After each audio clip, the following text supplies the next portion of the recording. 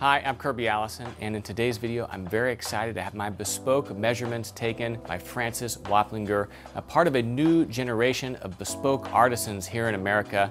Of course, he's a bespoke shoemaker. Uh, Francis, hey, thank you so much for coming into the office. It's exciting to have you. And as far as the bespoke shoemaking process is concerned, this is probably one of my favorite parts. It's that genesis, you know, where you take the measurements, uh, and that really kicks off the entire cascade of events uh, that ends up with producing a beautiful bespoke shoe. Yeah, I mean, that's kind of the first step, and uh, we can get started. Well, great. Well, let's get started. So, uh, what's first? All right, if you can uh, take a seat. Okay. All right, so first thing we're gonna do, get my pad out here. You just lift your feet up and get comfortable there so you can sit and stand. If you go ahead and stand up, please. All right.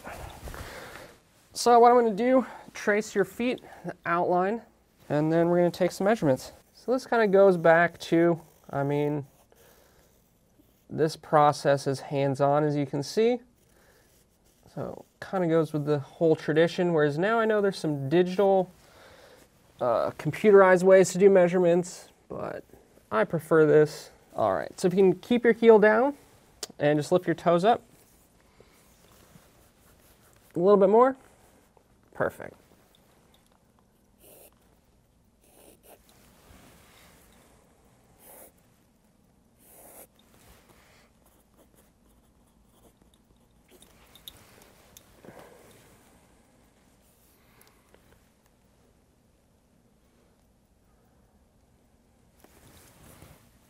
So going up the foot, I like to make room and kind of do four measurements that are kind of getting the circumference uh, of your forefoot here and into the arch.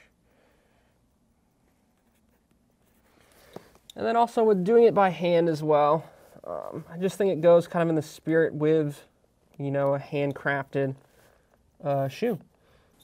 Yeah, I mean, at the end of the day, it's sculpture, right? So Exactly. you have to interpret the measurements. That's what makes a great fitting last, right? Exactly. You're interpreting the measurements and also, you know, what the client wants in the shoe and in the fit.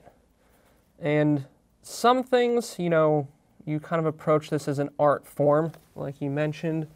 This isn't science here. So we need to be accurate, but there is room, as I think you put it quite well, for uh, interpretation. Now, do you have any issues with your ankle bone there? Nope. Does that seem to be I mean, the it's um, pretty flat? Nothing too crazy there. you know the instep is the one thing that'll really get me. Okay. And any other issues? Not really. Okay. I mean, feet look pretty normal here. So. What are you marking? What's the? So this here, it's going to be the measurement up and around, kind of the from the heel to the top of your foot. So I like to just get that. For me, it's not as important of a measurement, but just provides a little bit more information for me to work with.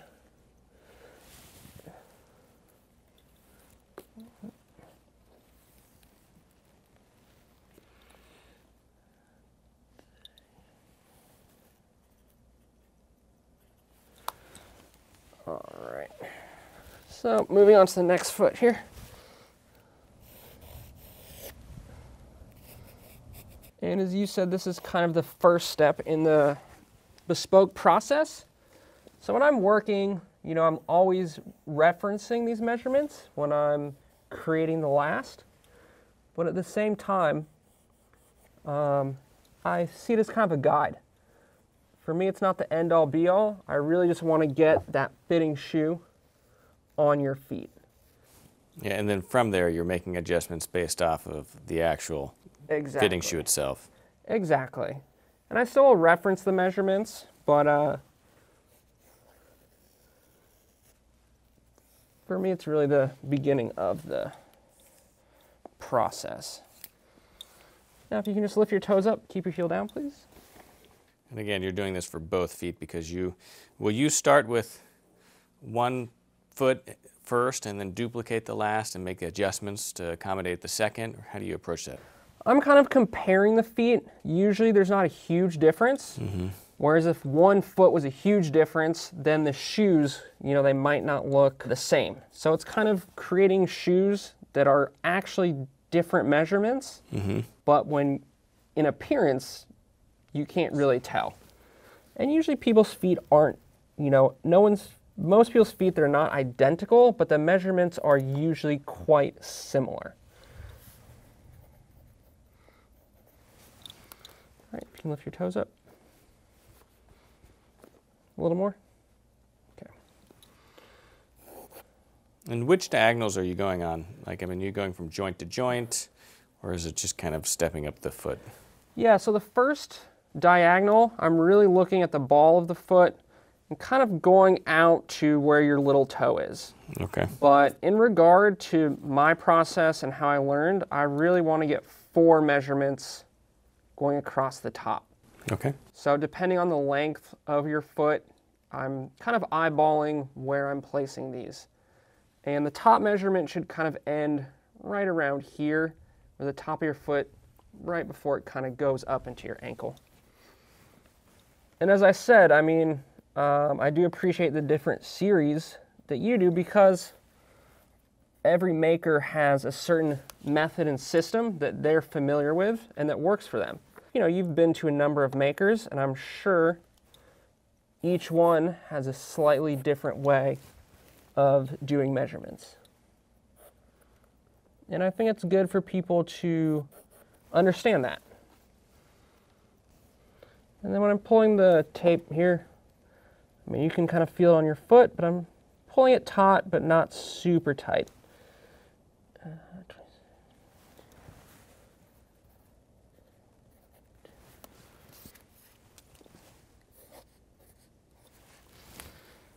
And in a way, it's kind of like a puzzle, whereas I'm taking all information, I'm putting it together in the last, and it's also, you're telling me, you know, what last shape you want.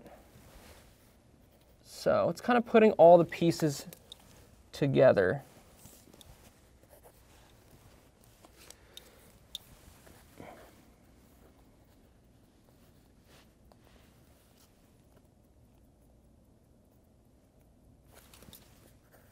What's that right there? That's just seeing how high your ankle bone is. Okay. I like to take that measurement, but with you, since you don't have problems, mm-hmm. you know, um, your ankle bone doesn't stick out super far. It's not something I really need to focus on. Whereas someone like myself, my ankle bone is really bony. It sticks out. If the top line is hitting that, Yeah. then it can cause a problem. Really. Yeah. Now, if you can just go ahead, try keeping your feet in the same place. Just sit down. I'm just going to do the same thing, but with you sitting. Okay. And here you're really looking for the differential in terms of the weighted versus Exactly. the unweighted exactly. distribution. And I would assume with someone like yourself with your build, it's probably going to be very similar, but uh, it's just good to have those measurements. Now we'll start with this foot here. Can you just lift your toes up, please. All right.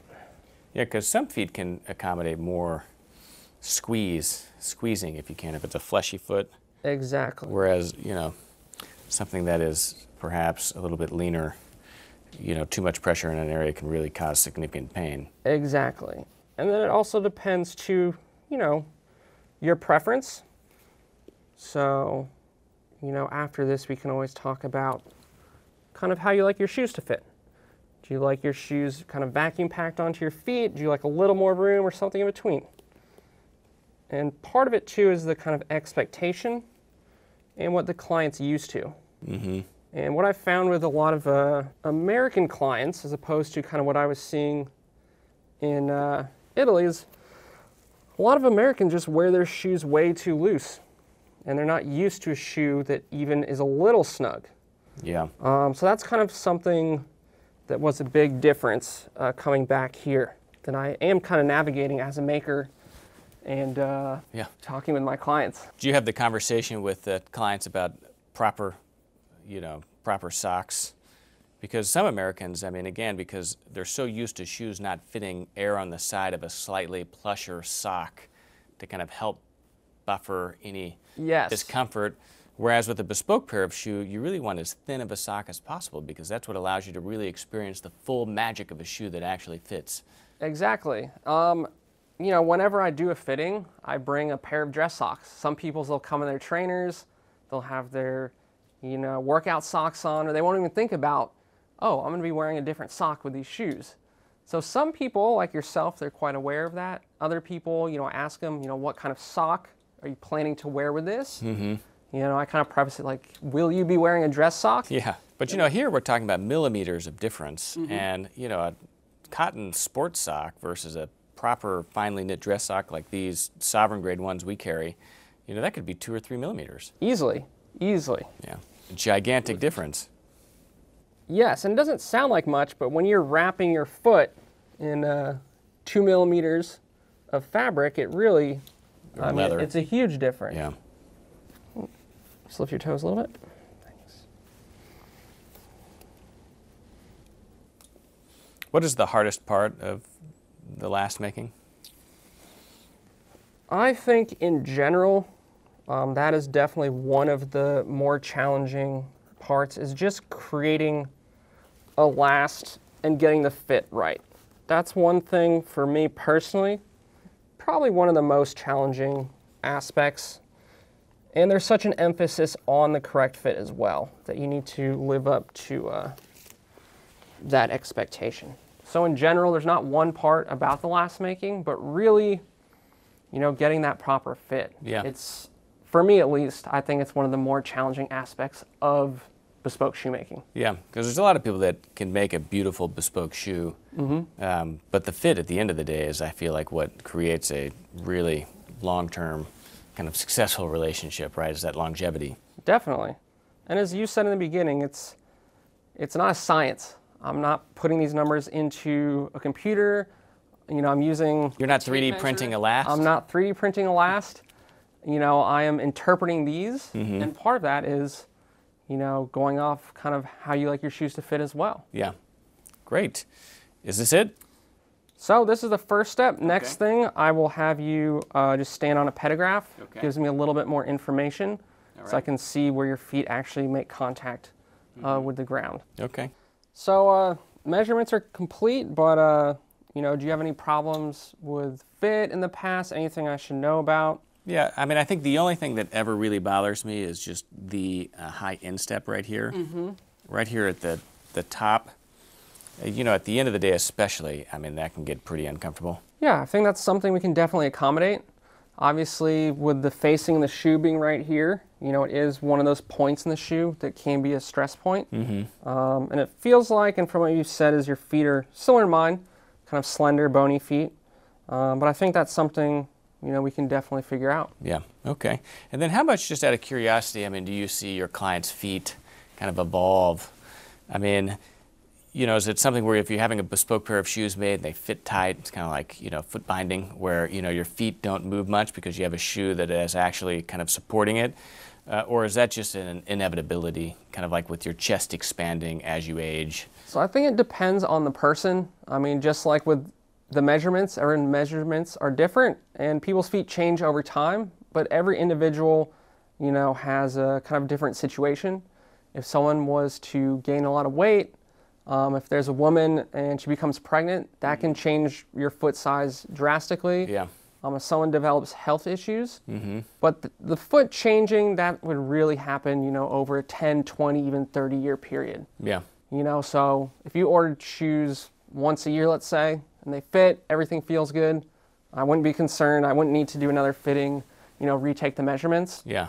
But if I didn't see you for 10 years, then I'd want to do retake the measurements, do another fitting, and kind of start the whole process again Yeah. from the beginning. Yeah. Okay. So the pedograph, it's uh, some people call it a Harris mat, but it just takes an ink impression of your feet. So just give me a minute. I'm going to put some fresh ink on here and uh, get it ready. And this is something I kind of picked up once I got back stateside and talking to people and just kind of doing a little research, looking around. So this is something I just added to the measurement repertoire here that I thought just gives me a little, little more information. Yeah. And what does this, I mean, where does this factor in the most?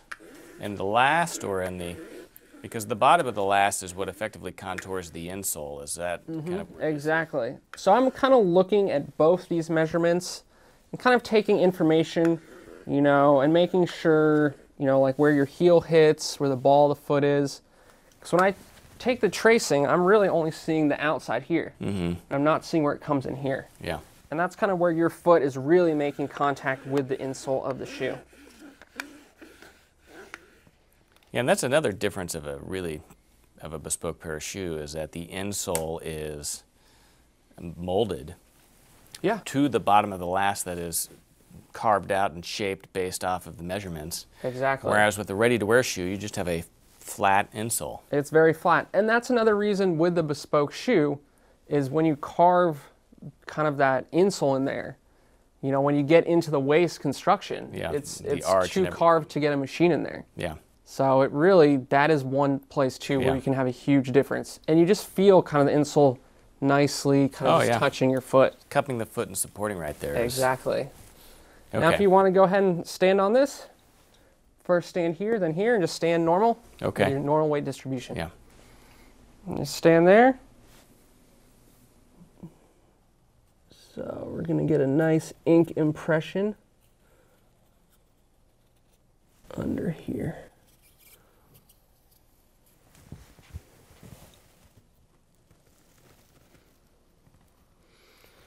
So hopefully we get a good impression, but if not, we'll just put some more ink on. Do this again. Just make sure we get back here where that heel is. All right, you can step off. Let's see how it turned out. There we go. Look at the reveal. There we go. So, So- that's enough info for me. Yeah. It's a little missing here, but not Yeah. a big problem. So what are you seeing here? So talk a little bit about this. I mean, I see how the grid, you know, the more weight changes Mm-hmm. the pattern. Yeah, so there's more weight here. This looks pretty normal. It's a little bit of more weight on the big toe. But one thing I really like to look at this is where the arch is. You know, because when I'm measuring here, you're already coming up the side of the last in Yeah. here. But I can see here where the arch comes in there. So that shows me you do have a nice arch. We can put a lot of, you know, build kind of the insole right up in there. Okay. Whereas if you're, you know, if we were getting some of the check marks in here, I might actually have to flatten the arch. Okay. Um, and it depends on the person. Some people where their arches kind of come down, you know, so they say, I want a lot of arch support. Like, I want my arch to kind of be pushed up. Yeah. And other people, they don't like that and it's uncomfortable. So you actually have to lower the arch of the last a little bit Yeah. to accommodate that. But with you, that looks relatively normal. Yeah. So when I have the last sitting here, I see the side of the last, but then I can kind of look under it and just see kind of actually where your foot is making contact there. And then build that arch up. Yeah. And so this really affects kind of the waist that you can make. I mean, this you could probably do something quite narrow, mm-hmm. right? But someone that, you know, maybe has an arch that collapses a little bit more, you're going to need more of a square waist. That's correct. Yeah. What about like, you know, toes? Like there's a little bit of pressure there. Is that something that you'd carve out on the insole? No, I wouldn't really make any adjustments for that toe, mm-hmm. but it might be something I would keep in mind, you know, when you do the fitting shoe. Yeah. And just making sure that area is comfortable. And I do kind of like what you had mentioned earlier, where it's really about interpreting these measurements and kind of what I'm seeing here. And I think that is a probably the most accurate way to put it. And it's almost like a puzzle. I'm taking this information, carving out the last, coming back to the fitting shoe, seeing if all the pieces fit. You know, maybe there's a few adjustments we need to do. And that really is kind of a big essence of uh, the bespoke process Yeah. is having, you know, clear communication and a relationship with the client. Yeah. And the goal at the end of the day is making a beautiful pair of well-fitting shoes, not a pair of shoes that, you know, perfectly contours the shape of your foot, Exactly. because that would be a foot-shaped pair of shoes. Okay. All right, so we're gonna do the same thing here. Just trace the outline.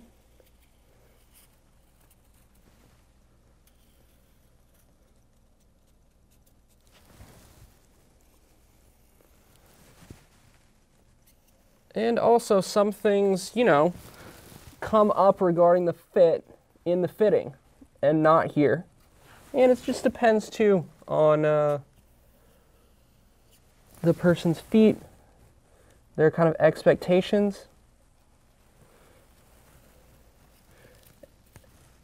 And also too, I've had some people where they picked a stiffer leather and the, the fit is really nice, but they just think, oh man, like this leather, it's you know like a box calf. Mm-hmm. It's not the softest, most supple leather. It's classic, but they realize, you know what, the fit's good, but I just need a softer leather because my foot is a little extra sensitive in this area. Mm-hmm. And that's another thing too with the fitting shoe that can kind of change maybe what the final shoe will look like. You're all set here. Let's make sure it came out okay. There we go. Yep. So anything different between the two that again sticks out? Let's see here. I mean, you can see here, there's a difference of the weight distribution a little bit. Mm-hmm. Relatively similar. Great. So you take these measurements back to the workshop in New York and Brooklyn, mm-hmm. and then you know how soon after the measurements do you normally start on building the last, and how long does that process take? So after I receive the measurements, it's usually about four months till I'll take a look at these and kind of start working with them.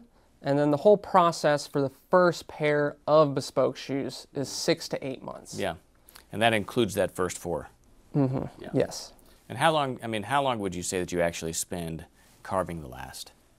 Oh, that can be usually a day or so.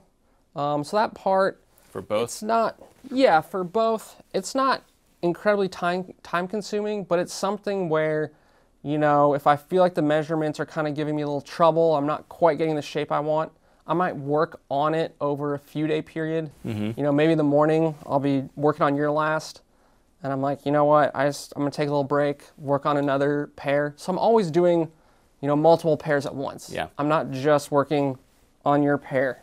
I'll have your pair going with another pair too going Yeah. at the same time. Yeah, it's not sequential. You've got a lot going on in parallel. Yes. Well, great. Well, that's exciting. Thank you so much, Thank you. And uh, It's been a pleasure. appreciate you coming. You know, anyone that is uh, interested in getting in touch with Francis can find him on Instagram uh, and through his website. Uh, we've got the links uh, uh, to both of those in the description of this video. Uh, let us know what you thought. If you liked this video, give us a thumbs up. Let us know in the comments below. That, of course, helps us know what type of content to continue to film and what you enjoy watching. I'm Kirby Allison, and I love to help the well-dressed acquire and care for their wardrobes while exploring the world of quality, craftsmanship, and tradition. Thanks for watching.